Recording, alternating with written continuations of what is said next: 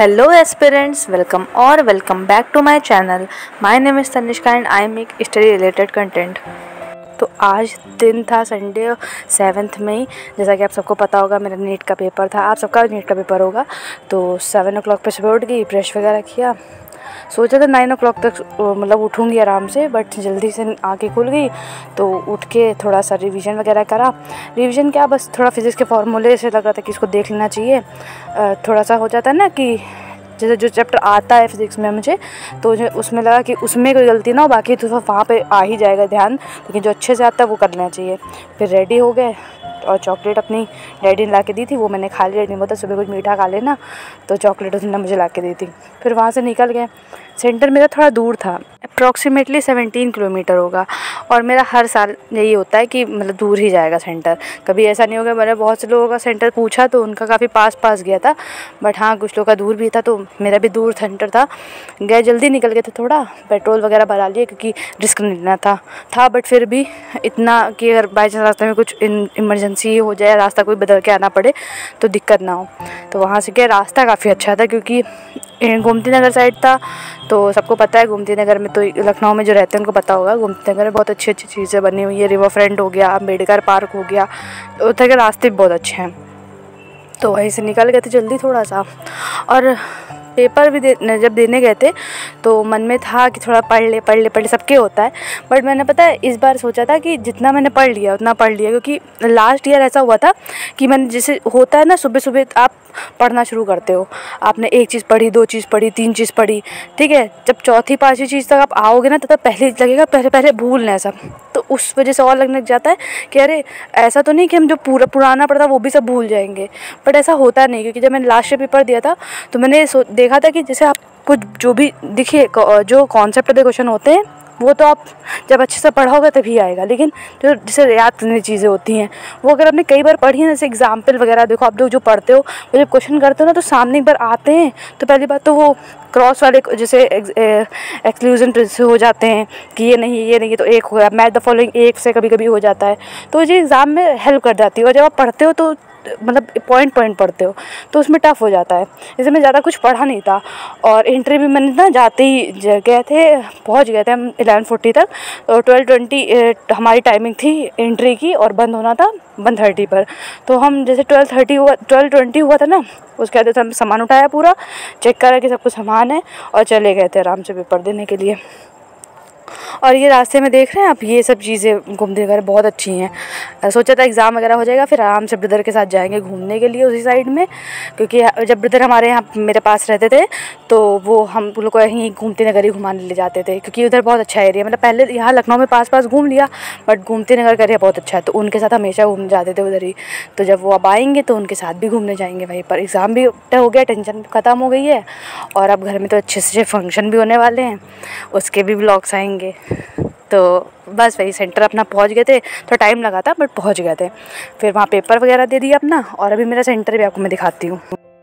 जब देख रहे हो ना इंटीरियर सा बिल्कुल गाँव जैसा इलाका मेन मेन अच्छा अच्छा आपको दिख गया ना, वो मेन मेन था। वहाँ तक था सिर्फ़ आठ, नौ किलोमीटर। उसके बाद जो सात, आठ किलोमीटर था, वो इतना इंटीरियर में था। मतलब वहाँ पर लोग, अगर किसी से पूछो ना कि कॉलेज का नाम की, भैया, ये कहाँ है? तो कोई बता ही नहीं पाता था। फिर वहाँ किसी तरह पहुँच गए थे आराम से। मतलब गूगल मैप का सारा लिया, पहुँच गए।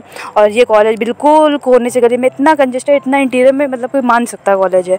और ये कॉलेज था मेरा जूरिस कॉलेज ऑफ़ लॉ यहाँ सेंटर मेरा गया था। यहाँ पर यहाँ पर मतलब जब वहाँ गए ना तो लोगों से बात वगैरह भी करी, जो अगल बगल क्योंकि ट्वेल्व ट्वेंटी पर इंट्री ले ली थी तो टाइम था काफ़ी। तो जब उनसे बात मैंने करी ना तो पहले होता था, कुछ साल पहले, कि आप कहीं भी जाओगे ना मतलब पेपर देने के लिए मतलब मैंने जितने भी लोग देखे थे, मैं लास्ट ईयर की बात बता दूँ आपको, जब लास्ट में पेपर देने गई थी ना तो वहाँ एलन के बच्चे थे, आकाश के बच्चे थे उनके टीचर्स भी छोड़ने आते, मिलते हैं, उनसे बात करते हैं। इस साल ये था कि एलन के बच्चे थे, आकाश के बच्चे थे, ठीक है? उसके बाद किसी से पूछो ना, वो पी डब्ल्यू के बच्चे हैं। ज़रूरी नहीं ऑफलाइन ही पढ़ते हो। ऑनलाइन वाले, क्योंकि ऑनलाइन पे इतना ज़्यादा कंटेंट है पी डब्ल्यू का तो सब बच्चे जो है ना, आपको अकेडमी अकेडमी नहीं कहता है। हाँ पी के और वहाँ पे फिर एक मतलब जो हमारे इसी कॉलेज के पास में एस डी एस एन करके कुछ कॉलेज था, वहाँ पे टीच एक पी डब्ल्यू के टीचर भी गए हुए थे। मतलब वो लोगों ने बताया था, वहाँ पर जो भैया पेम्पलेट वगैरह देते नहीं हैं, आप जब पेपर देने जाते हो तो आपको पता होगा। तो उन लोगों ने से मैंने बोला कि, अरे, मुझे तो पता ही है। तो दे रहे थे तो मैंने पूछा, टीचर्स वगैरह भी आएँगे क्या? क्योंकि होता है ना, जब टीचर्स जाते हैं। तो उन्होंने बोला कि हाँ जी हाँ एस डी एस एन पर है, वहाँ पर टीचर जाएँगे। और यहाँ पर वो लोग आए थे। और उन्होंने मैं एक बैंड भी दिया था, वो भी भी, पता नहीं मैंने वीडियो में दिखाया या नहीं, वो भी होगा, मैं डाल दूँगी, वो भी देखेगा। वो बैंड भी था और फिर कुछ बैचेस भी मिले, फिर अलग अलग कट ऑफ़ की बुक्स ये सब मिली, फिर वापस एग्ज़ाम दे लिया, अपना, वहाँ से वापस आए। हाँ कुछ सीनियर से भी मिले थे, आपको वो भी बताते वो सीनियर एक मिली थी मुझे वो बता रही थी मुझे कि उनका ना मतलब उन्होंने पूरा ग्रेजुएशन करा नीट दिया, फिर उनका पाँचवा अटैम्प्ट होगा। तो बोल रही थी कि ऐसा हो जाता है ना कभी कभी कि वो एग्ज़ाम जब देती थी तो उन कुछ ना कुछ ऐसे कंडीशन हो जाती थी कि वो उनका कुछ ना कुछ हमेशा रह जाता था। तो बता रही थी कि ऐसे ऐसे हुआ लेकिन मेरा मतलब उनका ड्रीम था। तो उन्होंने कहा कि हमको चाहे टाइम लगा क्योंकि उन्होंने वो ऐसा बोली कि मेरे पास हम जब पेपर देते थे तो हमने बहुत से लोगों को देखा था कि बहुत सीनियर सीनियर बच्चे पेपर देने आते थे। एकदम मतलब जो twenty three twenty two years होते वो वैसे भी लोग पेपर देने आते थे। तो उन्होंने कहा कि नहीं थोड़ा सा और एफर्ट कर लेंगे, थोड़ा सा और एफर्ट कर लेंगे। तो उन्होंने सारे पेपर उन्होंने अब तक पेपर दिया था। बोली थी, सारा हो सकता है मेरा हो जाए।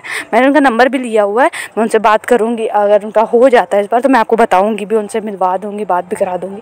क्योंकि मैंने बोला कि जैसे होता है ना, हम लोग सोचते हैं कि एम में जाएँगे तो कैसे क्या होगा, कैसे फ़ीस होता है। कोई अच्छा यूट्यूब पर होता है ना, जिनके बहुत अच्छे मार्क्स आते हैं, वो तो सब कुछ बताते हैं कि मेरे इतने मार्क्स आ गए थे, इतना ये हो गया। जिनके कम मार्क्स आते हैं ना और वो कोई प्राइवेट कॉलेज या कोई भी बी डी एस या M B B S ayurvedic कुछ भी ले रहे तो बताते नहीं हैं कि आप ये ऐसे हुआ था, ऐसे प्रोसीजर थी, इतने मार्क्स से मिल गया था, थोड़ा पहले राउंड मिला, दूसरे मिला, कुछ बताता नहीं कोई। वो, उन्होंने बोला कि वो उसका जब हो जाएगा तो सब कुछ बताएँगी। तो इस बार वो कह रही थी तो अगर उनका होता है ना तो मैं आप लोग से भी ज़रूर शेयर करूँगी। और अगर मेरा हो जाता है तो तो फिर बात, वो तो बताना ही बताना है, आप लोग से शेयर करना ही है। तो बस ऐसे ही पूरा दिन निकल गया। काफ़ी रश वाला दिन था, लौटते तो काफ़ी शाम हो गई, फिर ब्रदर्स का फ़ोन आया, उनसे बात करी, उन्होंने ट्रीट भी दी लेकिन हमने कहा जब आप आ जाना ना तो साथ में ही खाएँगे, पियेंगे। अभी तो फिर सीधे घर आ गए थे, थक भी बहुत ज़्यादा गए थे, क्योंकि लंबा सफ़र था आने जाने दोनों का, और वहाँ पर बैठे बैठे भी थक गए थे काफ़ी।